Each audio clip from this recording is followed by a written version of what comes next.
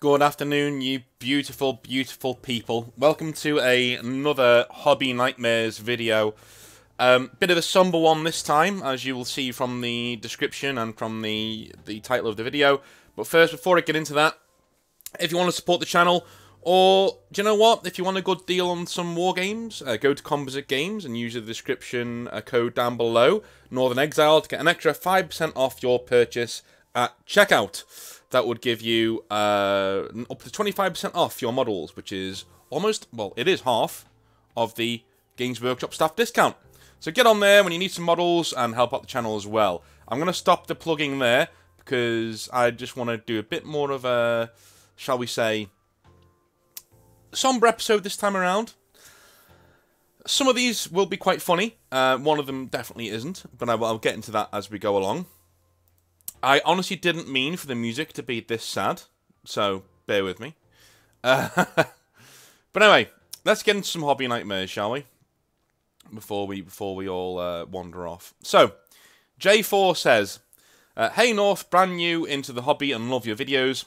I'm 21 from smack dab in the middle of the United States, and I just started my orc army about a month ago, and I've since started painting about 60% of them." That's cool. The one reason why I never get into orcs, well, simply, um, and I know people are going to say, well, you, you like Grey Knights and Space Marines, which is true. Uh, but a lot of you are going to say, well, yeah, I mean, they're the same as well. But uh, orcs always seem the same to me. Like, painting all that green skin just makes me cringe. But um, I love orcs as, as a faction. And when you read J4's story, you're going to understand why. The J4 says, he has about 1,300 points of orcs, and he's painted about 60% of them. At this point, he says, I've played five games only, and I'm having a blast. Sadly, my second and third game are a bit of a horror story combined. Flashback to three weeks ago. I'm at my local hobby store looking at models, and I meet this guy. We'll call him Clyde. I ask him how he is how he's going, and we have a chat about where I am at, uh, at where I'm at with the hobby, and now I haven't played any games yet. Okay? Long story short, he asked to play some games and roll some dice.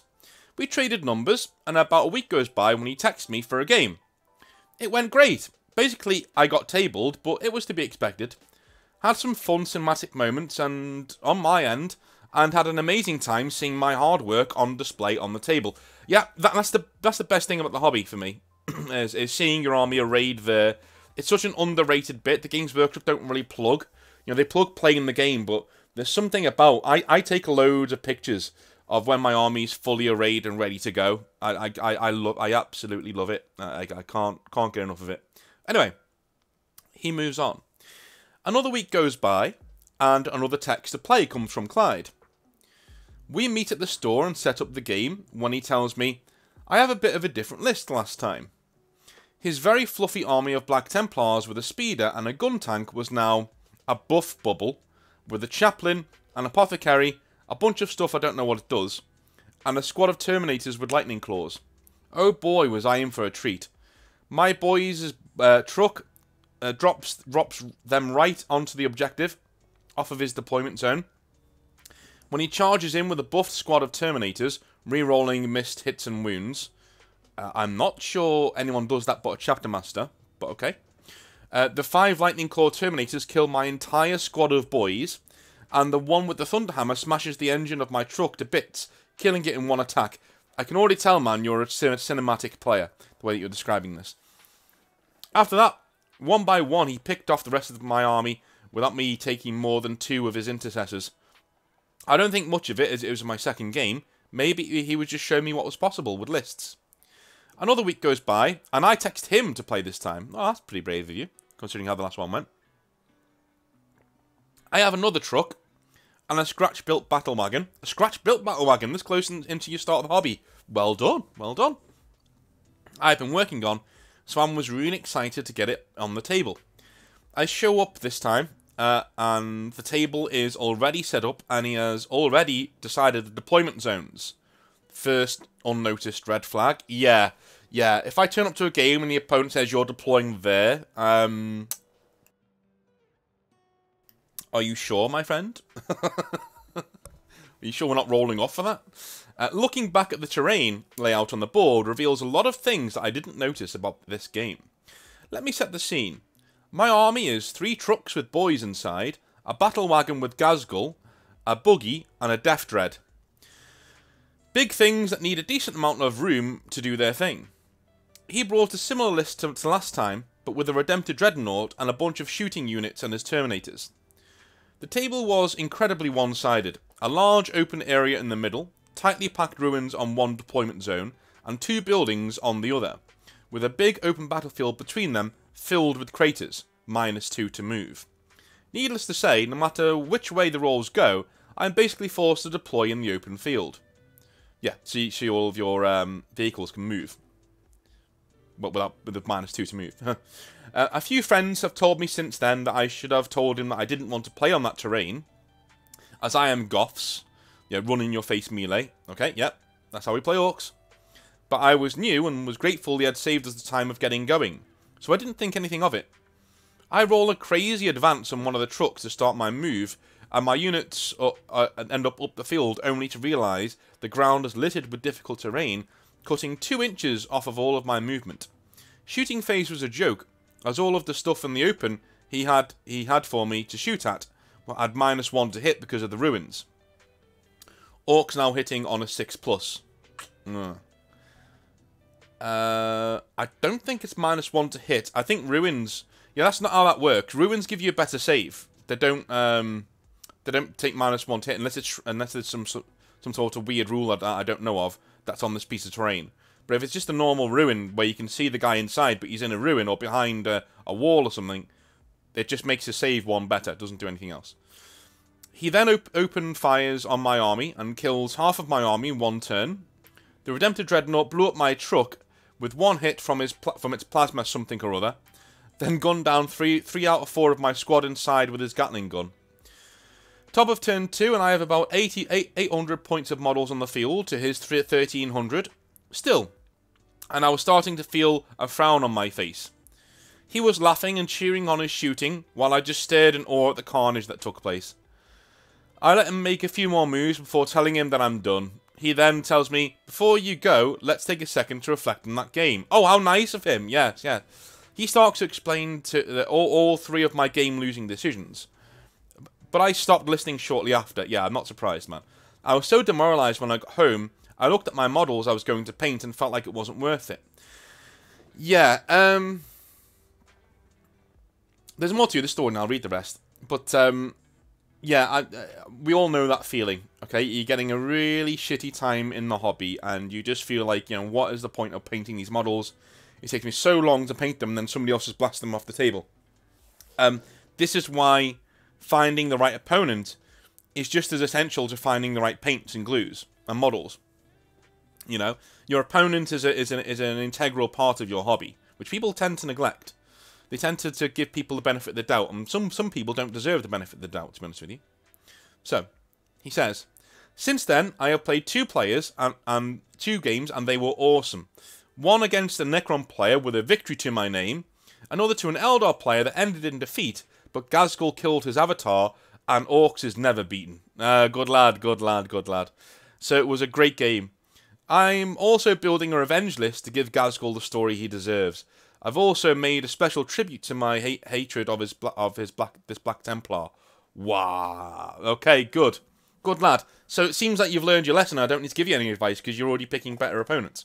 But um, yeah, this guy is the most orky orc player I've ever heard, and if if I've this guy's love of orcs will uh, only grow over the years, considering the way he writes his story. Because the way he says, like, like orcs are never beaten, and also, you know, even if you lose, it's a great game. I know a lot of orc players that are, are very much like that because their their codex is so random all of the time. So yeah, uh, well done to you, my friend. You seem to have uh, cracked it when it comes to building lists. So, Steve R.O. or Steve Rowe says, Hey, you know, hey, howdy North. Uh, my oldest boy, 10 years old, loves your channel while we hobby. Good laughs and lessons learned uh, on good habits while gaming. Thanks. No problem, man. No problem. Um, so, uh, special shout out to, uh, let me just have it on down here. Da, da, da, Alexander. Hope you're doing well, man. Hope your hobby is going well. Hope your dad's treating you well and he's going to buy you lots of models. Um, if he's not, then tell him I said that he needs to get his, his hand in his wallet and he needs to get you some models. Alright? Let's keep it going on that one, right? And I heard you play Ultramarines, which we'll let you off with, because it's, you know, decent start to the hobby. But if you haven't got Guilliman already, then, you know, I think your dad needs to uh, run down to the local hobby shop, don't you? In fact, go on to Composite Games. The link is down below. I'm, I'm kidding, I'm kidding, I'm kidding. Love you both. Love you both. Carry on. Keep on keeping on. Doing the hobby. Anyway, I'm going to read your dad's story now, so uh, excuse me. So he says, I've got a feel-good story for you. I started the Warhammer 40k hobby during lockdown, so as did so many others. Yep. Uh, got in with two buddies, the wife, and my oldest boy. Your wife got into it? My God. I, I would say put a ring on it, but this man's head of the game. The local GW staffer was a great guy helping us figure out what we needed to get in. Okay. I settled on Ultramarines because this stuff is expensive and the decals are in the box. yeah. Uh, and so my boy chose the same. Now, two buddies were single dudes with fluid cash and often gifted my son models. Some Outriders, troops, and even an Invictor. That's pretty cool. Simply because they just didn't want them. Here's the best part. That GW staffer that helped the four of us get going was a real guy every time we'd go in, he would simply listen to to my my kid talk about how cool Ultramarines were and answer questions about lore and or gaming for him.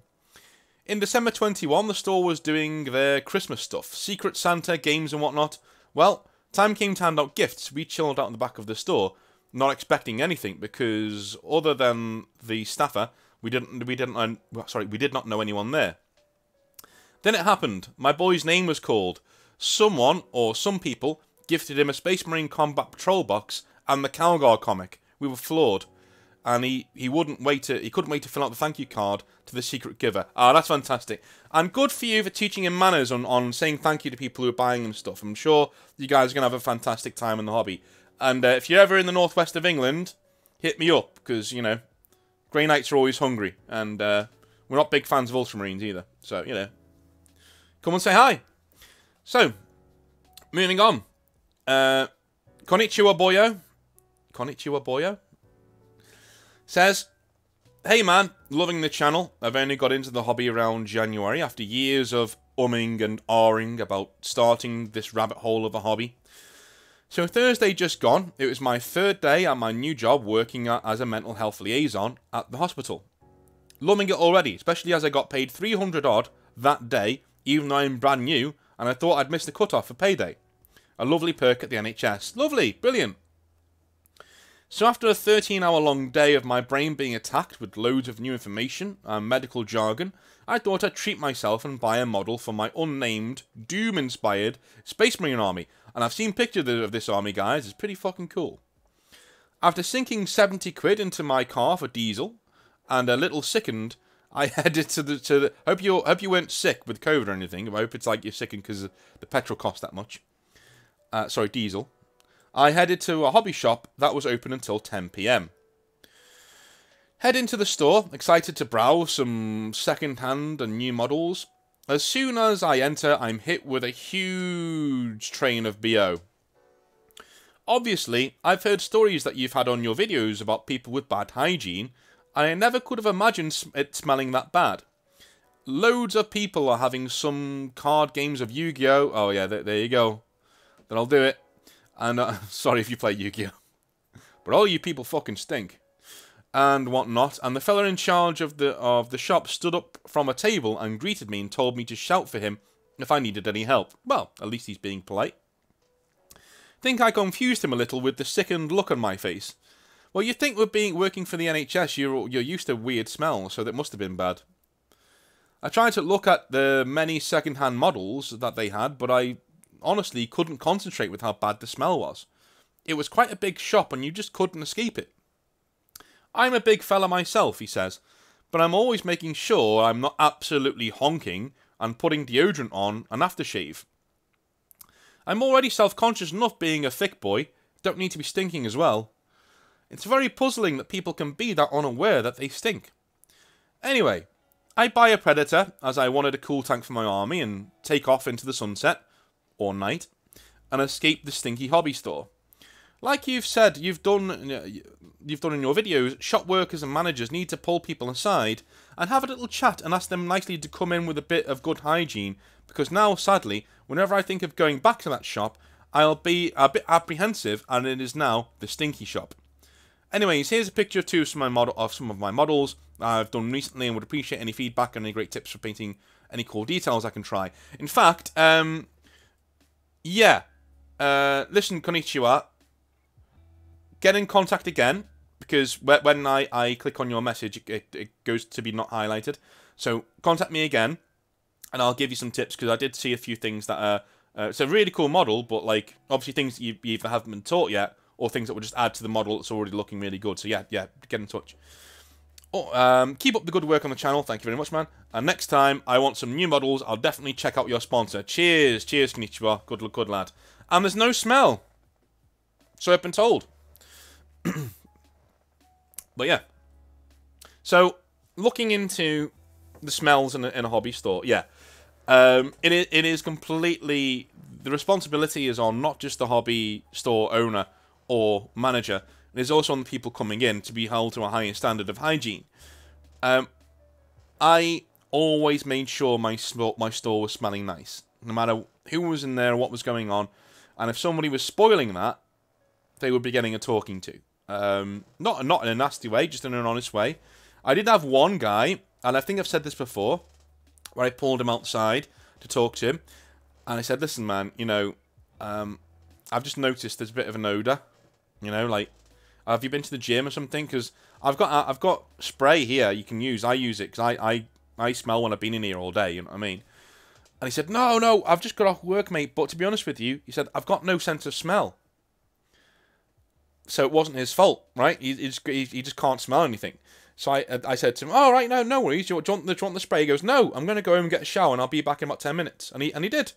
And that was it. Right. So you so if you are a store manager and you're expect, ex expecting a bad re response, number one, you're not to know if there's a medical reason for him smelling bad. And as soon as he there is one, then just say, "Hey, man, don't worry about it. I'm here to support you." Blah blah blah. Do all that, right? And if they're going to get pissy with you because you pulled out the fact that they smell and they're getting offended, well, I'm sorry, grow up.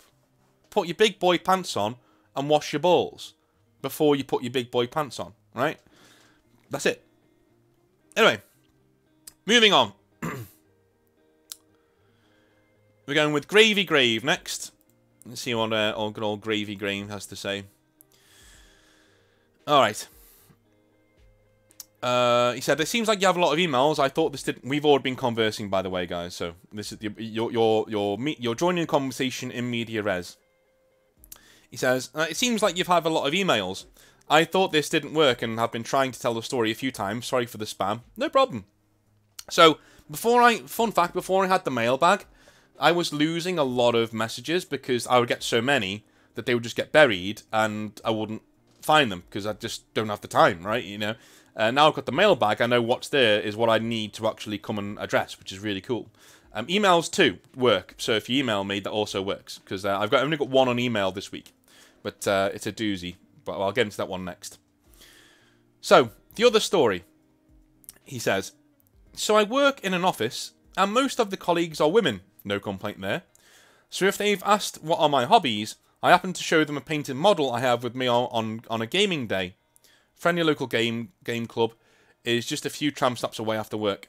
The reactions have been a mild, oh, that is cool, yeah. oh, you got a pair of balls in you, man. Hello, ladies. What do you do? What do you, you know? Uh, oh, I, I go out and I, I go drinking with the girls. I go to my gym and all that. You know, got to keep the ass looking fit in these yoga pants. Yeah, yeah, yeah, yeah, yeah, yeah. No, so what do you do? Well, uh, don't know if you know about Space Marines, but uh, think you'll find this guy here quite the model painter. Yeah, just uh, yeah, still a pair of balls. Well done. Anyway, one summer we get a summer temp, a younger guy who says he who says, "Hey, 40k, I played that, but now honestly I just paint." and he shows me pictures of great looking Chaos models. Yeah, neither of you two are getting laid. I'm just going to come out and say that now. Um, it shouldn't be the case, because Warhammer 40k is a game for chads. You know? But we are chads that fly under the radar. You know. Anyway. Q forward a couple of years. Attempts being a part-timer, but now decides to focus on his studies full-time and leaves the company. On his last day, he pulls me aside and asks, do I want his 40k stuff that's sitting in his basement? And of course, um, the plastic crackhead replies, do I ever? Sadly, this doesn't include his pro-level Chaos Space Marine models, bummer there. I get a ride there and he brings out two to three big boxes of all kinds of models, and even some stuff still in boxes, in mint condition. Jackpot! I do an inventory and get loads of Drukhari for me, and even more Marines. Then I unload to my friends with pennies for a dollar. But still, make actually quite a few euros. I don't remember the exact inventory of, of my Drukhari, but it was at least Lelith, three, uh, three Sslyth, is that? Three Raiders, Witches, etc. And as I calculated the GW prices, it was well over 200 euros. That's cool, man. Excellent. I thank him again via text and realise, fuck, I've got to paint these. One thing you have to understand, when we are talking about 40k and me, is that I love playing the game and enjoy scratch building slash modding models. But I hate painting. But a solution is found from the gentleman whose great unclean one is now in the warp. Ah, from the from our last from our last story from you, which is pretty cool. Alright, fair enough. If you don't know that one, it's in our previous video. Go and check it out. He was just leaving the country to his homeland after a work stint in my country, and I agreed with him that he'll paint them, unpack them, and send them to me. That's pretty cool. A few months roll by, he's been busy with, with the new job and doesn't have the time to paint them. I ask him to ship them to me anyway, and I'll paint them when I get the urge. Again, a month or two goes by and I realise, where the fuck are my models? I asked him and he says he sent them well over a month ago. Hmm. I ask him to check and he sends me this photo of sent of a sent package receipt. I see in the photo that something is missing. The company had shipped them so that 80% of the name and address were covered with the package, with the sticker and tape. Of course, my friend didn't buy the insurance for the package, because it would have been really expensive and the package and, and the package if the package never arrives. I tried to find it in my in my end by contacting the post office. The best lead they can find is that it was sitting in a some warehouse for weeks and was sent back, but was never found after that because the sticker had got had, had also covered the return address. So the Lord giveth and the Lord taketh away. Got free models. I needed the Raiders. Lost free models. Ah, oh, dude, that fucking sucks. but as you say, nothing ventured, nothing gained, I guess. But it does suck to have free models that are then, you know, taken out of your hand, so to speak. That really, really does suck. But, you know. Good story, man. I enjoyed it. And make sure, stop telling women in the office that you play 40k, right? Just, you know, tell her that you go abseiling or you work on your abs or something. And, you know, you got to introduce them to the weirdness slowly, you know. What I like to do is on the second date, if they come back to Shay Exile, um, the the Chateau Exile, shall we call it, they uh, they they find one model, you know, left in a left in a conspicuous place, Oh, what's this? Oh, just something I've been painting up, something I might get into, you know. Oh, okay, cool, cool, cool. She isn't really listening at that point because, you know, they don't really listen. Um, and then the next few dates, you start saying, oh, yeah, yeah, you know that model thing? Yeah, I'm doing that again this weekend. I've got a load of friends and then we do, you know, and you introduce them that way. They're already in at that stage, you see. They're on, they're on the third or fourth date. They can't get out. So, I'm like, oh my god, this guy's a fucking weirdo, plays with models. And like, yeah, I know, but, you know, now you know how good I am in bed. No, I'm I'm joking. I'm kidding. I'm kidding. Um, but that's you know, that's what you do. You get to like the third or fourth, you know, the third or fourth date, and then you start introducing the weird shit. Like, uh, yeah, yeah. This I do 40k, and by the way, I have Mandalorian pajamas, and you know.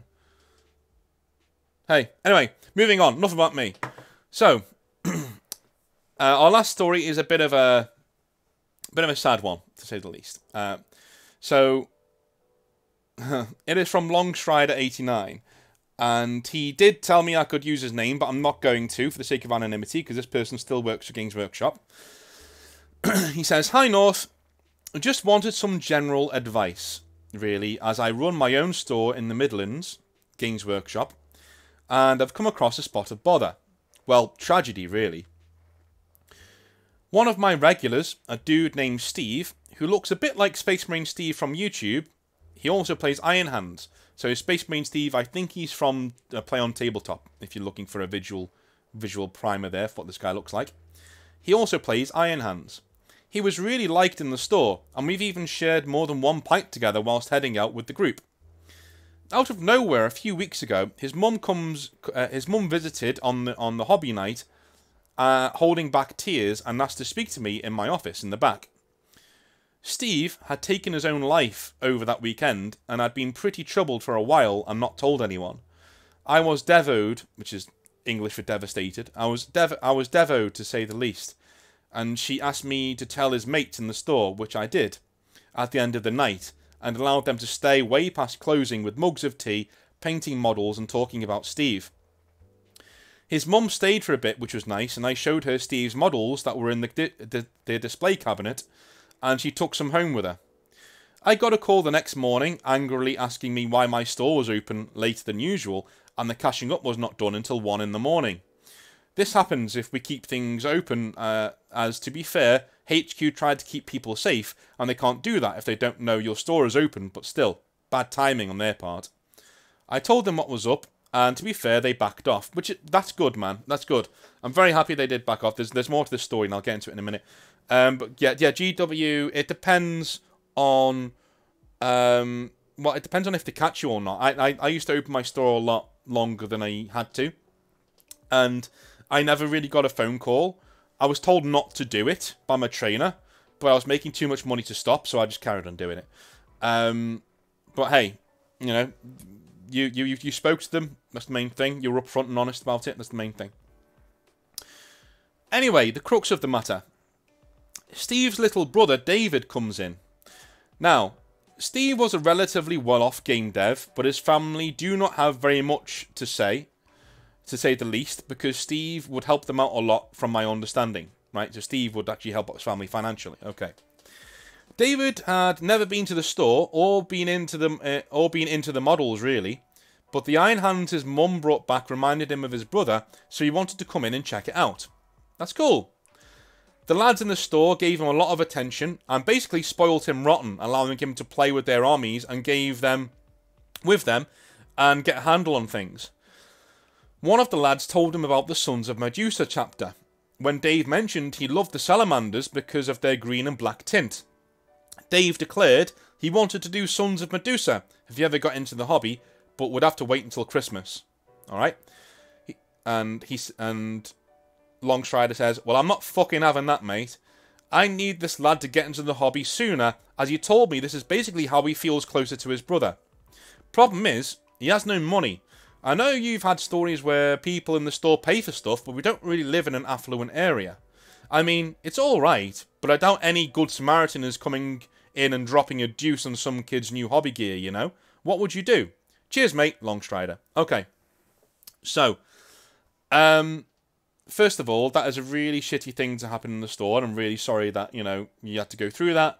And my condolences to, um, to Dave, to David and his mum, and you know, rest in peace, Steve.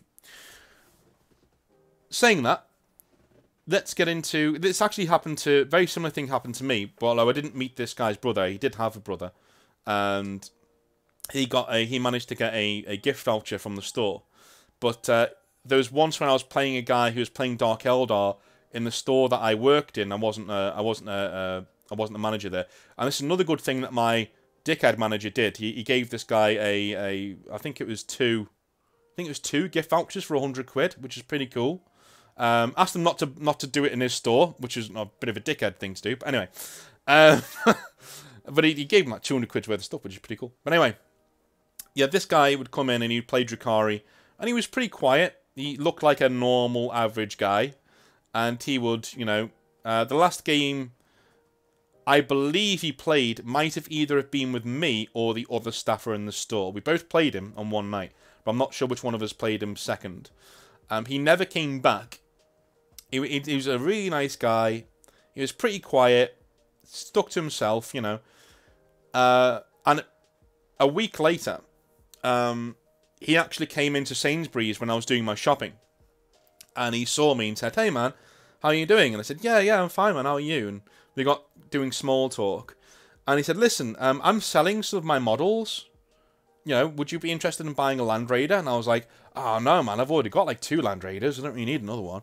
I gave him the number of a few people to call who might be interested in his models. One of which was the other was the other staff member that we had, and yeah, um, I I never saw him again. That was it. And we got one of his friends came in uh, about a week later and said, yeah, he'd he'd, he'd taken his own life. He'd, he'd committed suicide, which was a an appalling day at work to say the least. Um, I've recently heard from other people who've gone through similar things with their friends. Is that what he was doing in selling his models? Is he was preparing himself and his family for him leaving, like getting everything off of their hands and so they didn't have to sell anything, and he could give that money to them when he died, which is a fucking tragic thing to to to hear.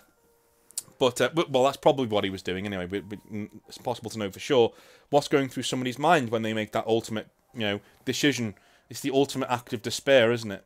You know, and uh, my heart goes out to anybody who feels like they have to make that choice. To be honest with you, um, as I've told you on this channel before, I, I've only ever been in that situation once, truly. Um, it wasn't fun, and um, yeah, I, I'm I'm now glad I didn't do it or didn't do anything stupid. But uh, yeah, there was one one time in my life where it was pretty close. So I've got some semblance, like a ten percent semblance of what's going on in somebody's mind when they when they get to this point. But anyway, um, here's my advice, my friend. So I would do one of a few things. And I'm going to give you a few ideas to go off of. Number one, if you want to get in contact with head office and get something worked out where you can get this kid some models for free, I will give you the contact number of somebody. Please message me back. I'll give you the contact number of somebody at HQ who can sort that out for you. Um, this isn't an offer I extend to just anybody, so please don't anyone else message me, because that'd be a really shitty thing to do. Um, this person is a really cool person. They they normally work with schools and things like that, and they send out a copious amounts of stuff to schools. I'm talking 4,000 points worth of armies to schools on a regular basis for nothing. So um, I'm sure that she can hook you up with something. Um, and again, before anyone complains that I outed her her gender there. Most of the people working in the office tend to it's nearly it's 50-50, you know, in, in, terms of gender over there. So um but yeah, I'll give you her contact number and I'll email her and tell her uh, and tell her that you're going to call. Just message me first and I'll email her then I'll give you the number, okay? That's number 1. That's option number 1. Option number 2, okay, is call up head office yourself and give them the story give them exactly what you just told me and ask them to send you a care package of like 2,000 points of um, of Iron Hands. Now, if you tell them Iron Hands, right, they may throw in some Forge World stuff in there as well. If they send you stuff, they may throw that in as well. If if you if you are that specific, especially if you use the number I give you, you she will be that specific because she's that kind of a person, right? So, um, they may say no, I'm not going to say they're going to say yes. They, they, they, the normal office may say no. Um, um, you know, friend of mine won't, but they, the normal office may, if you want to go that route. If they do, your third option for me is to get all the lads together in the store, and instead of every instead of one or two people buying a couple of hundred pounds worth of stuff, instead, get everybody to give you a five pound or a ten pound note, right? Everybody who knew Steve, five pound or a ten pound note and throw in, like, say, whatever money you've got hanging around yourself, right? Even if you have to go to friends and family, that's fine, you know? Aim, aim for around 200 quid, right? Get 200 quid together. Pool as much as you can for this kid, right? Then, use your staff discount to buy... You're allowed to buy gifts on the staff discount. You're allowed to buy gifts on the staff discount. So, buy £400 worth of iron hands or, or, or, things that can be made into iron hands from your own store. That means the money is going in your till, so you're getting a nice bonus that week. You know, so you're getting a pat on the back for getting a big sale. And you're also using your staff discount, so it's only going to cost you 200 quid to get 400 quid worth of models. And then you then you gift them to him. So those are your three options, my friend, okay? None of which will get you into any trouble. Um, number three you should use if number two falls through, essentially. But I would I would personally go with number one and um, see what see what she comes up with. I, I think that she'll be able to get you some pretty cool stuff there. In terms of people dealing with, with Suicide Man, when you want to deal with Dave in the store, um, openness and kindness is the best way to do it. And one thing that I would do, and I had this thought when I was I was sitting in bed last night reading this, and I had this thought. When he paints his Sons of Medusa, why don't you, as a nice little project, known lost something in the store, one or two kits in the store, for a store project, and why don't you build him a custom chapter master that you name after Steve? Yeah? Name him Stavos or something, you know, whatever. But you, you say, yeah, this is this is him. This is your, you know, and maybe even uh, take one of the arms from one of Steve's old models and put on the new one, and and keep it black, you know, as a as a mark of like you know mourning or respect or something. That'd be a super super cool thing to do. Other than that, make sure he's having a decent time in the hobby, man, and make sure he's never feeling left out. Make sure he's always included and and is right at the center of what's going on at the store. It may be tiring, you know, but you need to do that. You need to make sure we need to look after this kid. And if you need to, um, put him in touch with me and the channel. I've got a few YouTube friends as well who would who would happily send him, you know, send him a few emails or you know exchange pleasantries with him if he's into that kind of thing. So send me an email, and uh, and we'll get that sorted out for you. Okay, so that is hobby store stories, uh, well, hobby store nightmares for today, and some of them more, a lot more real than others. If you need to get yourself some models, Composite Games is right there. Uh, in the description down below, you get 20% off of most things in the store, and with my code Northern Exile, you get an extra 5% off.